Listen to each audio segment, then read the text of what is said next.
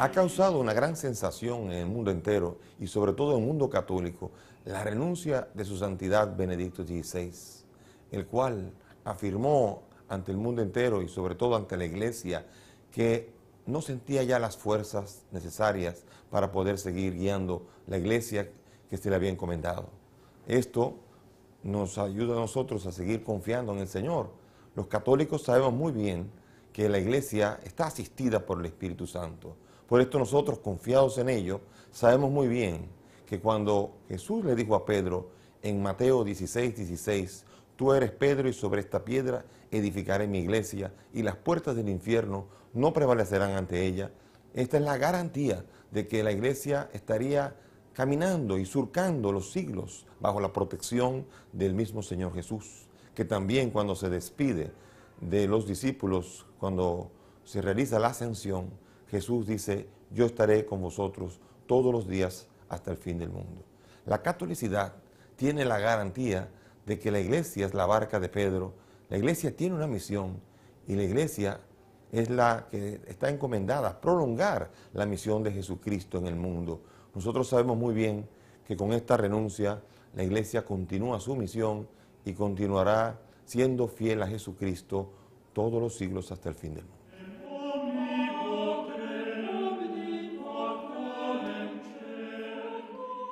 Significa simplemente que el tiempo va corriendo y así como su santidad Benedicto XVI le han pasado los años, así nos pasarán a nosotros.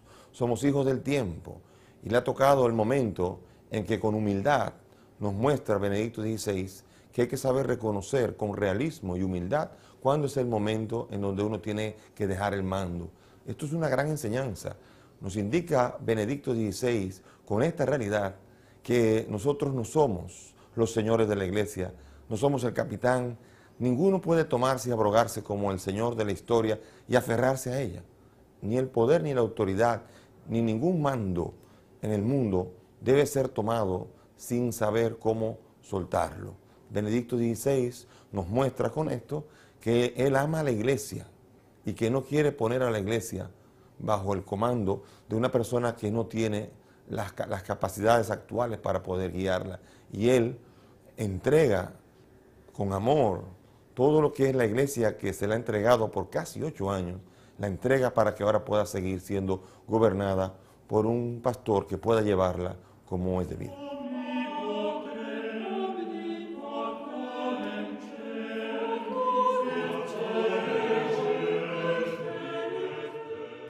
¿Cómo tomarla? Primero, con gran agradecimiento a Benedicto XVI. Gran agradecimiento por casi ocho años, en donde ha mostrado sobre todo una capacidad de síntesis entre la razón y la fe. Un hombre intelectual y al mismo tiempo de fe.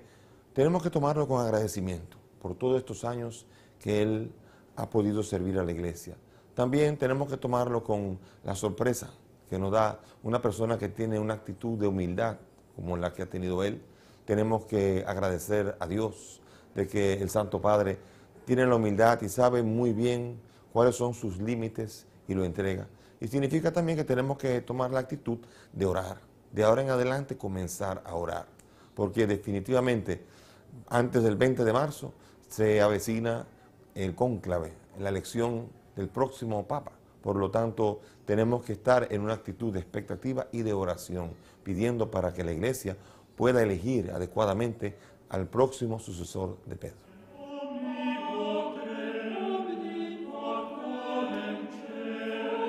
Sí, en la Iglesia está prevista la renuncia de un Santo Padre y está en los cánones del 331 al 334. Sobre todo en el 332 especifica que el Papa tiene que hacer la renuncia libre y sobre todo formalmente.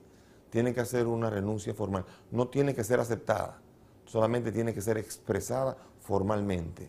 Las razones son reservadas a él y en este caso el Santo Padre apela a la dificultad que tiene para tener las fuerzas físicas necesarias para poder llevar a cabo su misión, lo cual es válido y sobre todo tenemos que reconocer que no hay un procedimiento anormal, sino que por el contrario, ya es el quinto Santo Padre que apela a este recurso canónico para cesar en su papado.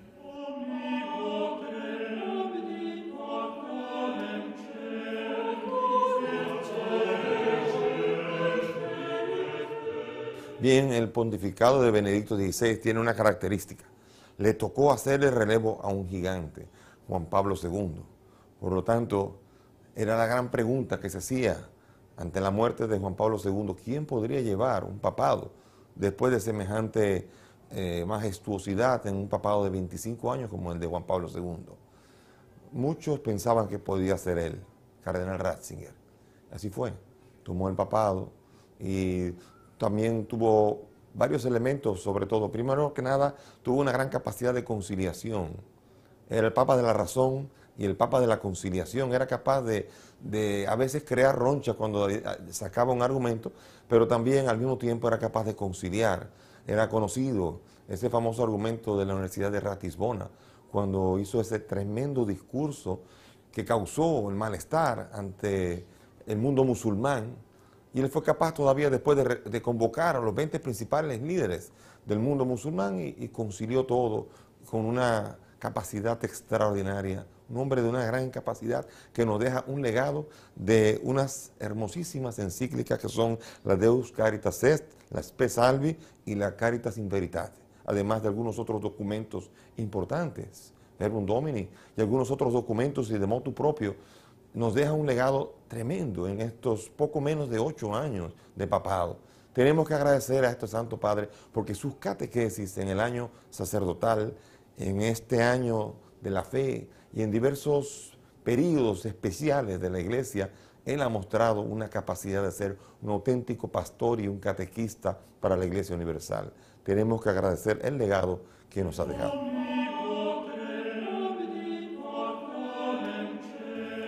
Bien, en poco menos de ocho años de papado, Benedicto XVI nos ha dejado un gran legado. Nos ha dejado tres grandes encíclicas, Deus Caritas Est, Spe Salvi y Caritas in Veritate.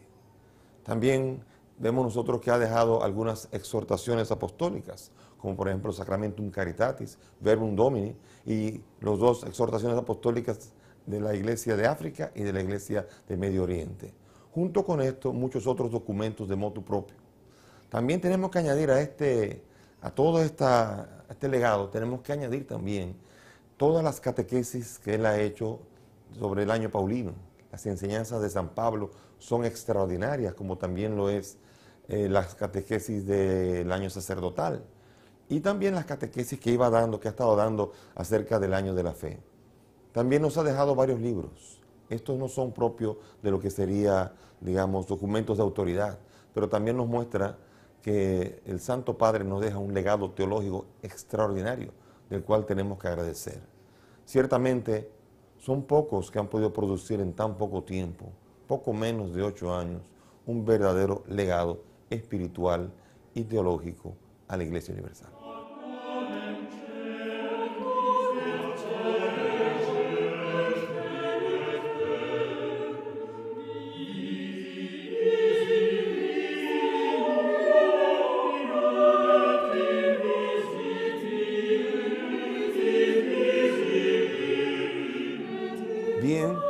Hasta el 28 de febrero tenemos papa todavía, pero a partir del 28 de febrero queda la sede vacante. Hay un documento que legisla acerca de cómo va a tener que ser todo y la, todos los altos cargos de la iglesia quedan cesantes con excepción primero del camarlengo, que en este momento es Tarcisio Bertone. Tarcisio Bertone se encargará de administrar la iglesia, pero solamente en asuntos temporales no podrá intervenir como magisterio de ningún tipo. También quedan en el cargo también el, prefecto de la, de la penitenciaria apostólica Manuel Monteiro de Castro y también el vicario de Roma Agostino Baldini. Estos tres son los únicos cargos dentro de los altos cargos de, de la Santa Sede que quedan vigentes hasta el momento en que llegue el cónclave. El cónclave tiene que ser normalmente realizado a los 15 o 20 días después o de la muerte o de la renuncia a su oficio, que es lo que ha ocurrido en este caso. Una renuncia a su oficio, así es como se llama oficialmente, en 15 o 20 días después de la renuncia oficial, tiene que realizarse el cónclave. El cónclave, por tanto, tiene que realizarse antes del 20 de marzo. Y entonces la iglesia, allí comenzará el cónclave y de ahí en adelante sabemos que el Colegio Cardenalicio se encargará, según las normas establecidas, de que el Papa 266 comience todo su pontificado.